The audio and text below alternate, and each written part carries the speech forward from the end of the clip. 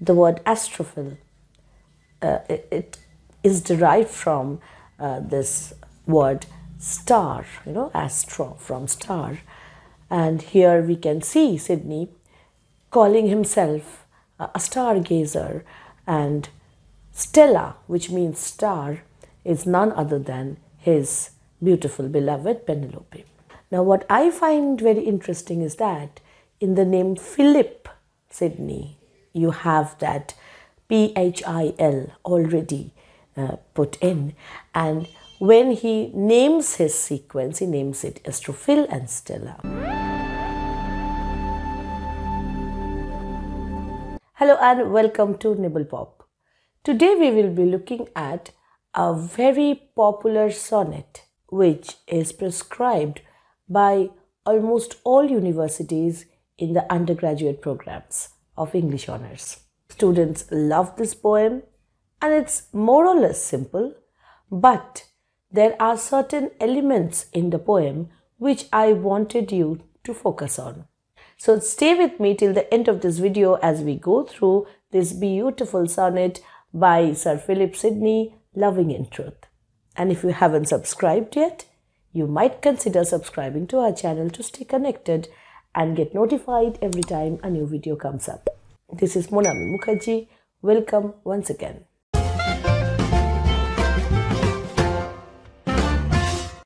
In November 30, 1554, in Kent, England, a child was born to Henry Sidney. Henry Sidney was a knight, so he was called Sir Henry Sidney. This child grew up to be the person who we now know as Sir Philip Sidney.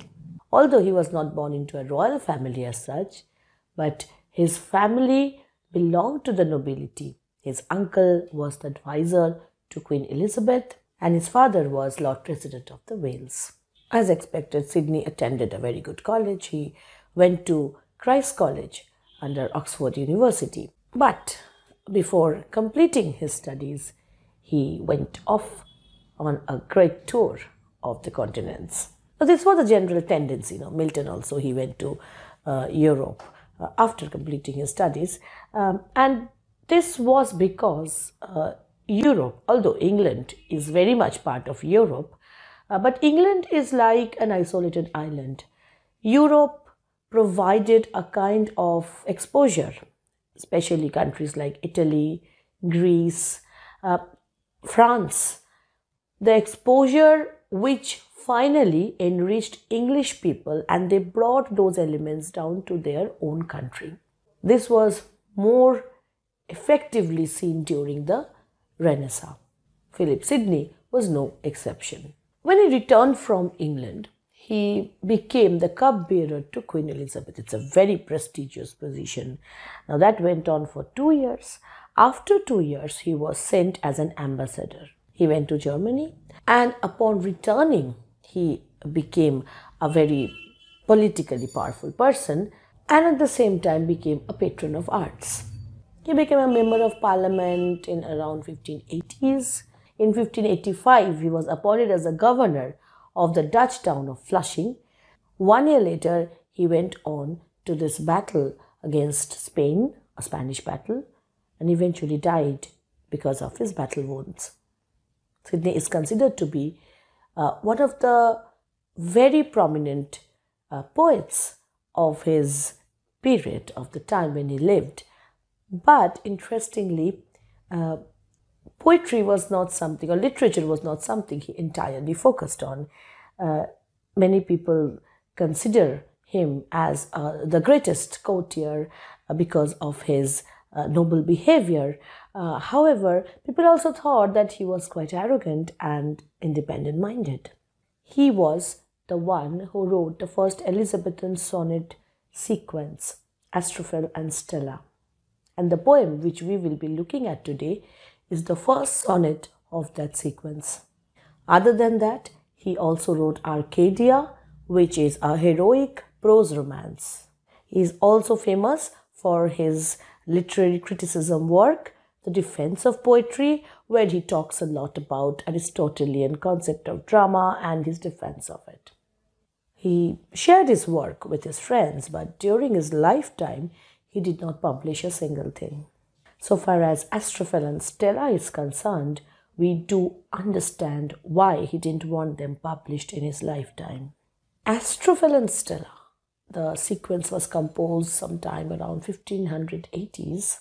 It is a sequence of 108 sonnets and they were addressed to a woman named Penelope, Penelope Devereux, who became Penelope Rich after marrying uh, this person, Rich.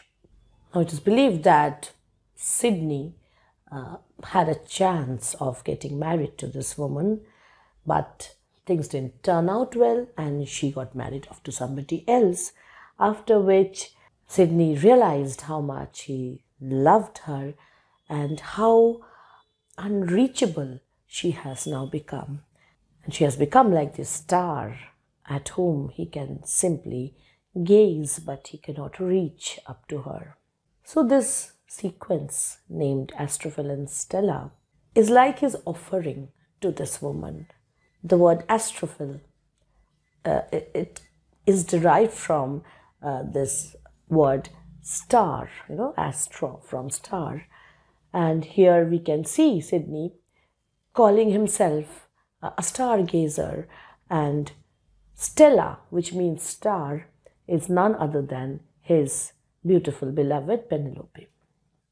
Now, what I find very interesting is that in the name Philip Sidney, you have that P H I L already uh, put in. And when he names his sequence, he names it Astrophil and Stella. So, naturally, we understand that this entire sequence is autobiographical, although Sidney creates a persona, a narrative voice, the voice of the stargazer. So, the person speaking to us in this sonnet, which we will be reading today, is not entirely Sidney. It's that stargazer, Astrophil. We already know what a sonnet is. It's a 14 line poem. And sonnets are usually uh, divided into octave and sestets if they follow the Italian pattern, uh, which was popularized by Petrarch. And so far as Shakespearean sonnets are concerned, we see that uh, the sonnets do not have an octave sestet pattern clearly defined, but we do have a concluding couplet. That is, uh, a pair of rhyming lines at the end of the uh, whole poem which kind of summarizes or concludes the poem. So, when we will be reading this poem, we will not just look at the theme but also the structure of the poem to understand the different kinds of influences on Sidney when he was writing this and the kind of innovations which he was making. This was the first sonnet in the sequence. So, this is kind of an introductory sonnet where he's giving a kind of introduction to what this sequence is going to be about and how he is going to write his poems. Loving in truth and fain in verse my love to show, that she, dear, she might take some pleasure of my pain. Pleasure might cause her read, reading might make her know, knowledge might pity win and pity grace obtain. So this man who is writing this poem uh, gives us the purpose of his writing. He wants to write uh, in order to impress his lady love. Loving in truth, the love that this person feels is genuine, and he wants to show that honesty, that genuineness of emotion to the lady love. So he wants to show his love through his verse, through his poetry. Why does he want to do that? Why does he want to express himself in poetry? That she, dear she, so he does not name the person here, but he just uses the pronoun she, might take some pleasure of my pain. Now, when he is using the word pain, uh, there is uh, an element of pun here. Uh, he is using his pen to write the poem, and then this woman, she will feel pleasure because of what he has written with his pen. And here, pain also means the effort, the trouble, the way in which uh, he has taken the initiative to write. That is the pain of writing. A third way of looking at this word is to understand that this man is feeling pain because this woman is away from him. And when this woman will read this poem, she will understand that he is in pain and she will feel pleasure because poetry is supposed to give you pleasure. And she might feel good that somebody is suffering because that person is away from her. So that is going to give her a flattering feeling and she might feel pleasure. In any case, his target or his aim is to win the attention of this woman. So he will write, she will get pleasure by reading. Pleasure might cause her read. So when she will find pleasure from this verse, she will concentrate on the words. She will start reading more carefully.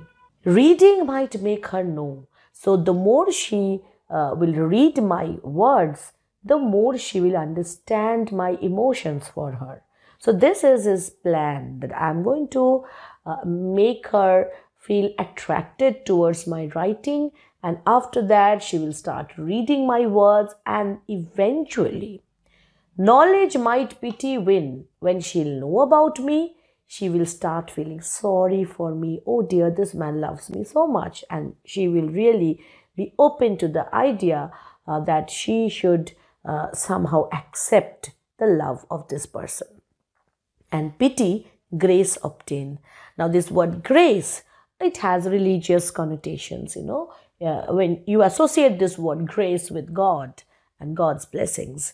Uh, so, for this man, this woman is so precious. This woman is so divine that getting her love is as divine as getting the blessings of God and getting the grace of God. So uh, we have this very powerful word used here. So, what is the sequence of events that this man is uh, anticipating or thinking would happen? She would find pleasure in his pain and then she might start reading and then knowing him and then will feel sorry for him and eventually start loving him. So, this is why this man wants to write a whole sequence of sonnets or poems. But there's a problem here, and he tells us about the problem now. I sought fit words to paint the blackest face of woe. So, I wanted to make my poem filled with images of suffering so that she would know I'm suffering so much, I'm having so much woe, and she will feel so much more sympathy for me. And for that, what did he do? Studying inventions fine. I went on studying different kinds of poetic forms, different ways of expressions of previous poets, of classical poets, her wits to entertain. So I wanted to entertain her sensibilities, her wits. So I wanted to be very smart in my writing.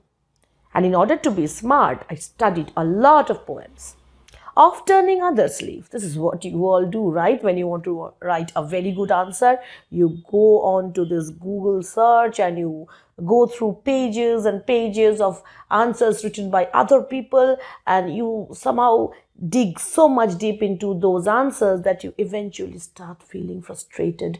You don't know what to do about it. The same thing happened with our Philip Sidney or our Astrophel here. Of turning others' leaves. So, um, others' leaves means literally uh, pages uh, from books written by other authors authors, greatest authors who came before him, to see if thence would flow some fresh and fruitful showers upon my sunburned brain. Why did I do this? So that somehow, if they can inspire me, because right now my brain is dried up, and he uses this very peculiar image uh, as if his brain is sunburned now, just a few minutes back, I was telling you that he is looking at his beloved as if she is a star, Stella. Sun is also a star. So, does he mean that his beloved is consuming his senses so much? It's as if she is burning his brain down and he can't think straight. He is suffering through a very miserable phase, the phase of a writer's block. And he is wishing to have some fresh showers. So he's using a very beautiful metaphor here where ideas are equated with rain. So in these four lines, he gives us his strategy and why he is doing this, why he is looking into other people's works. And then he talks about the problem he is facing there. But words came halting forth. So when he went through these other people's works and then he wanted to write something on his own, then he was not able to have any kind of natural flow. His words were halting not coming naturally, not coming spontaneously. Wanting inventions stay. Invention means imagination, a creativity. He wanted his creativity to stay, to stay focused on what he was doing. But no, it was a halting process. It was not coming as smoothly as he wanted it to. Invention. Now he is defining invention for us.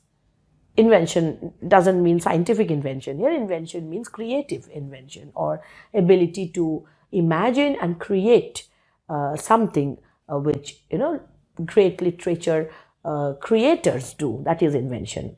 He is defining invention as nature's child. Invention nature's child. Fled. Step dame studies blows. Now what he was doing here? He was studying what was he studying he was studying maybe Iliad, Odyssey, uh, Petrarch, uh, classical things to inspire him.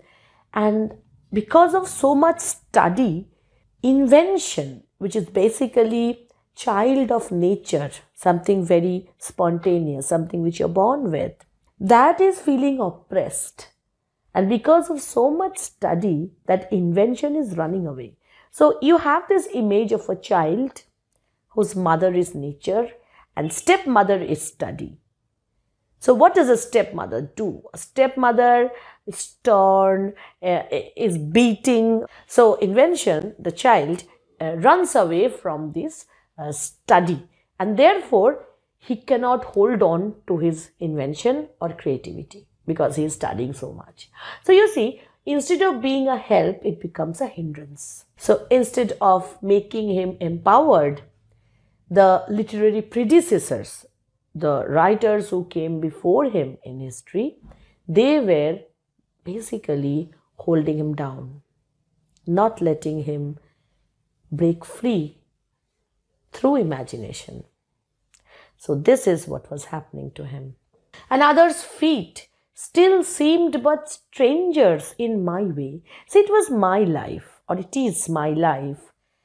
And if I take help of others' words, then I can never write the story of my life because he understood that every life is lived in a personal way.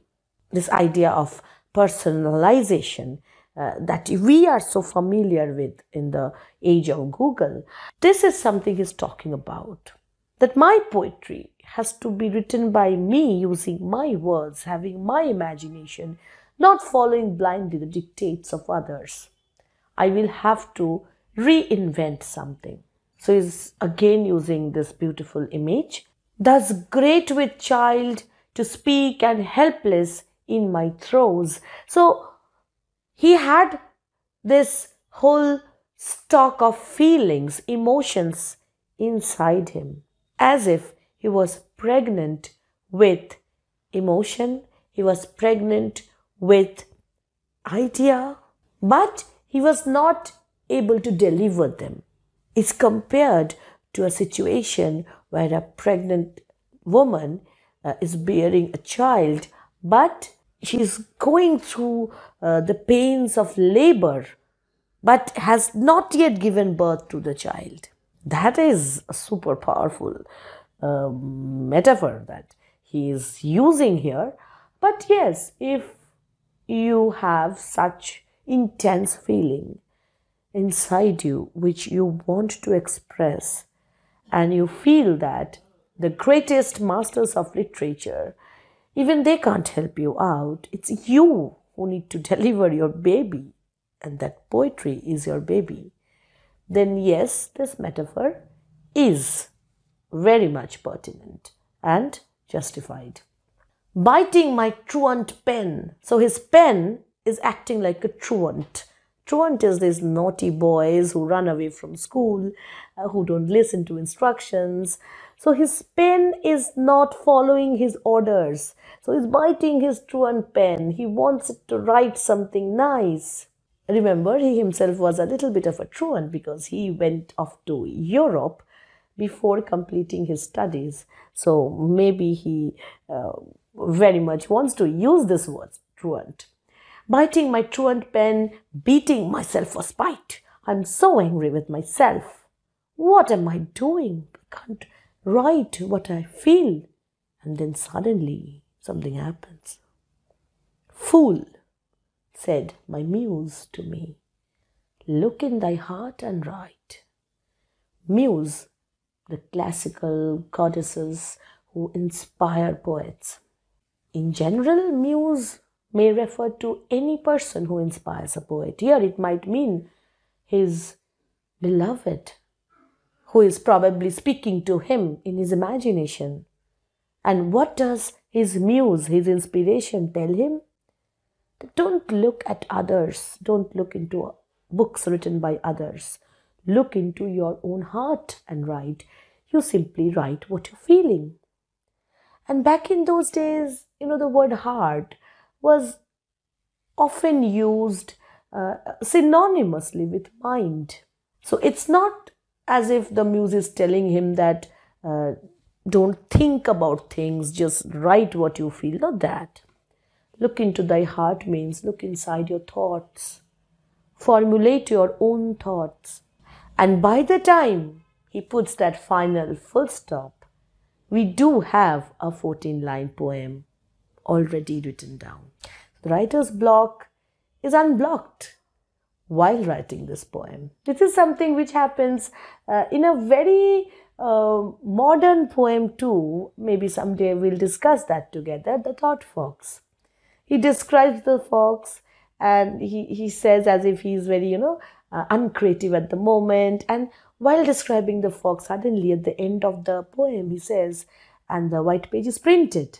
So, what is this poem about? This poem is about love. Of course, it is. It's a sonnet. It's addressed um, to Stella. Of course, it's about love. But what is the core theme of this poem? The theme of this poem is not love. The theme of this poem is poetic creativity and the problem of poetic creativity. As I was telling you, this is the first sonnet, so this introduces the poet to us in some way. And the poet wants to tell us that he is a genuine person, an honest person, and he wants to be innovative. He follows this 14 line structure. So, where is the innovation here? Thematically, this follows the tradition of courtly love. In courtly love tradition, uh, you have this figure of Lady Love uh, who you cannot attain in your life. She is like this goddess sit on a pedestal, you're worshipping her, and um, she is not even looking back at you. And all your life, your target is to somehow serve her. That is courtly love. So, from the look of it, uh, the persona, the narrating persona in this poem, is talking about that kind of love, devotion. So, this follows the idea of courtly love or the tradition of courtly love. So, we cannot say uh, Sidney is very innovative here. So, where is his innovation? While we were reading this poem, you must have noticed that I was stopping after every four lines. I did not stop after six lines or eight lines. So, there is no octave sestet division in this poem. What we have is, you know, three quatrains, four lines, and then a concluding couplet. This was before Shakespeare. So Sidney was using Shakespearean style before Shakespeare started using it. Now that's because this style was not invented by Shakespeare. The idea of concluding couplet it was there before him, and Sidney was simply following it here. So we have three distinct quatrains talking about three different things. In the first quatrain, what do we have? He is giving us this idea about why he wants to write a poem. In the second quatrain, he wants to tell us what strategies he's taking to find fit words. In the third quatrain, he's telling the problems he's facing when he's trying to look inside the pages written by others. And he's making these beautiful images down the line. In the final part, in fact, in the concluding couplet, couplet means the rhyming uh, lines, he gives us a conclusive statement. Statement 1, he's biting his pen, that means he's frustrated. And statement 2, his muse tells him to be spontaneous, to write from the core of his heart, something which William Wordsworth talks about in his preface to the lyrical ballads so many years after Sidney wrote. So there is an element of romanticism in Sidney, is almost talking like romantic poets, that one should be close to nature, one should be close to their own instincts and not to study or not to uh, mechanically uh, put in elements from other people's works. Okay, so Sidney is, uh, you can say, he professes originality in writing. The second thing where I see him very innovative is that uh, he is not using the usual 10 syllable line in his sonnet. Usually, sonnets have 10 syllable lines. You know, they are written in iambic pentameter. Uh, pentameter is 5 and iambic feet is like disyllabic foot. So, 2 into 5, 10 syllables are usually seen in sonnets. In his case, we see uh, they have 12 syllables. So, hexameter often. Okay. So, here he is being innovative. And this idea, you know, as 12 syllable lines are called alexandrines, and use of alexandrines is not very common. So, this is one innovation you must mention when you're talking about Sidney's uh, new way or novel way of writing sonnets. When you look at the rhyme scheme, because he already does away with this octave sestet idea, there is a mix of Italian and Shakespearean uh, rhyme schemes. Now, when you look at this poem, this is very strange because uh, the rhyme scheme goes like this A, B, A, B. Again, because uh, this word W, O, E, it rhymes with show and know. It's called wo. Uh, and then flow again matches. So, we are going to put again A, B, A, B. So, normally in a sonnet, we would have had A, B, A, B, C, D, C, D. Then E, F, E, F, G, G, as in case of Shakespeare.